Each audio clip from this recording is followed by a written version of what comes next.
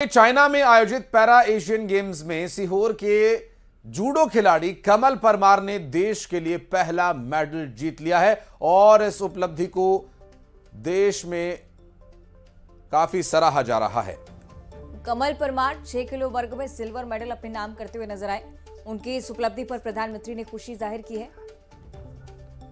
आपको बताएँ कि एक दिसंबर को दिल्ली भी उन्हें बुलवाया गया है। हो सकता है कि प्रधानमंत्री से मुलाकात का मौका कमल को मिली। और 60 किलोग्राम भार वर्ग में उन्होंने ये उपलब्धि हासिल की है। पैरा एशियन गेम्स में सिल्वर मेडल जीता है। सीहोर के लाल ने कर दिया कमाल। अवंतिका, इसके लिए प्रधानमंत्री नरेंद्र मोदी ने भी पैरा खिलाड़ियों को शुभकामनाएँ दी हैं। आगे बढ़ते हैं। आगर मालवा से अगली बड़ी खबर। डेढ़ करोड़ की शराब पकड़ी गई है। शराब से भरा संदिग्ध कंटेनर पकड़ा गया। जब्त शराब की कीमत करीब डेढ़ करोड़ रुपए आंकी जा रही है।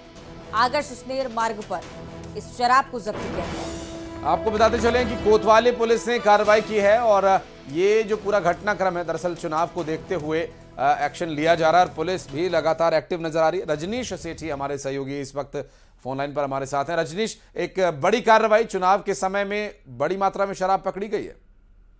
जी हाँ देखिए, चुनाव के चलते लगातार अभी चेकिंग की जा रही है। जिसके चलते कल रात में भी पुलिस द्वारा चेकिंग की जा रही थी। तब आगस्त से मार्ग पर एक संदिग्ध कंटेनर जब पुलिस द्वारा चेक किया जा रहा था तो उसमें शराब पाई गई।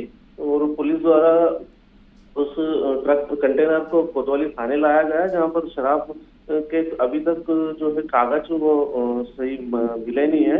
और पुलिस द्वारा उसकी जाँच की जा रही है कि ये शराब अवैध रूप से ले जाई जा रही थी या इसमें कुछ वेद इसके वेद है।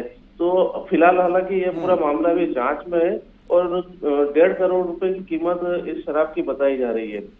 पुलिस द्वारा जल्दी इसका खुलासा किया जाएगा कि आखिर ये शराब कहाँ रजनी चुनावी समय बहुत शुक्रिया आपका जानकारी के लिए।